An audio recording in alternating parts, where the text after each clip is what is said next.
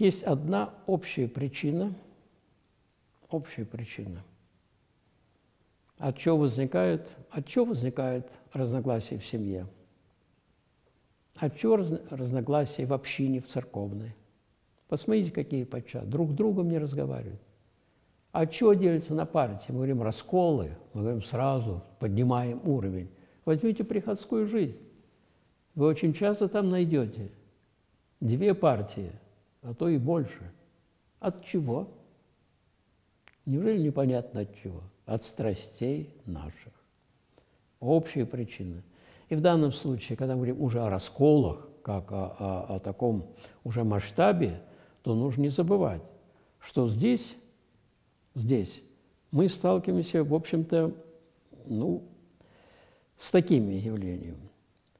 Я бы сказал, с двумя, хотя на самом деле оно одно, только степень разная.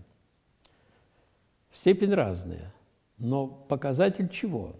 Ослабление духовной жизни церкви, болезнь церковного организма. Вот оказывается же. И когда он заболевает, то начинается. Вы знаете, что, что э, на здоровое дерево в здоровом дереве вы не найдете жуков, дровоточец, знаете такие жуки, вы не найдете. Почему? Оно здоровое. Как только начинает оно подгнивать, все полно жуков. И началось. Удивляйтесь, да, возмущаетесь. А в чем причина-то? В том, что само дерево загнивает. Вот, оказывается, в чем причина-то. Не жук виноват, а, а твое состояние – так и расколы. Они являются показателем того, что значит в данном случае в жизни церкви происходит, происходит омерщение, или по-русски правильно обмерщение, но я всегда говорю омерщение, омерщение людей. То есть, когда заботы, заботы, я бы сказал, исключительно земные заботы, только этой земной жизни начинают преобладать над тем, ради чего живет человек и что он должен делать. Ищите прежде Царство Божие и правда Его. Вот что нужно прежде. А когда нет, все переворачивается. Приходится приводить пример. Переверните человека с ног на голову, и он умрет. Ничего ему не делай, только переверните. Так и здесь тоже. Жизнь церкви, как и каждого христианина, должна быть какой? Во-первых, царств, искание Царства Божия. То есть искание чего? Правильной христианской жизни. Во-вторых, земные, земные заботы. И сами земные заботы нужно оценивать только через призму вечной жизни, а не чего-либо. Но когда земные заботы начинают преобладать, то в таком тогда все, наступает беда. Происходит, первыми становятся земные заботы – развлечения и прочие вещи, вот тогда начинается беда. И тогда церковь начинает дряхлеть.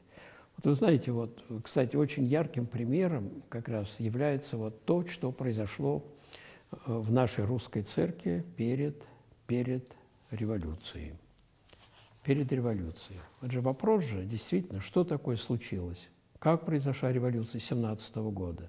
А вы посмотрите, что писали, писали святые отцы – о состоянии перед революцией. Что это просто поразительная вещь. Святитель Филарет Московский писал, писал так. «Как время наше походит на последнее». Это конец XIX века. Он в 1867 году скончался и уже походит на, на последнее. Соль обуявает, то есть становится, портится, соль. Камни святилища падают в грязь на улицу. Это он из плача Иеремии приводит. С горем и страхом смотрю я в нынешнюю бытность мою в Синоде, на изобилие людей, заслуживающих лишения сана. Слышите? Пишет. В другом месте он даже так говорит. Видно грехи наши, велицы пред Богом. Не от дома ли Божия начнется суд. Слышите, какие предсказания? А Феофан Затворник что пишет? Зло растет, зловерие и неверие поднимают голову, вера и православие слабеют. Ужели же мы не, обрати, не образумимся? Господи, спаси и помилуй Русь православную от праведного Твоего и надлежащего прещения. Видите, какие вещи-то пишут. Откуда раскол? А вы помните, какие расколы? Ну, вот это обновленцы и прочее, что появилось.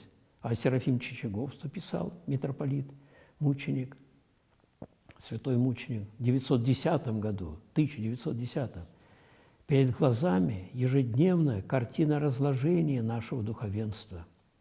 Никакой надежды, чтобы оно опомнилось, поняло свое положение. Последние верующие содрогаются от развращения и бесчувствия духовенства, и еще немного сектантство возьмет вверх.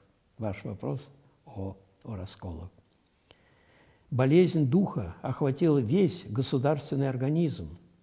Духовенство катится в пропасть. Еще год и не будет даже простого народа около нас. Какие?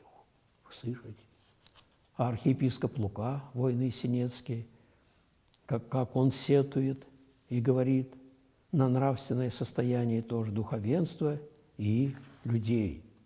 Причем, вы знаете, что любопытно, в чем опасность какая самая страшная, что внешняя сторона церковь все соблюдается. Кажется, та же вера, те же богослужения, та же обрядность. То есть все, все, кажется, все, церковной службы. А что пишут святые?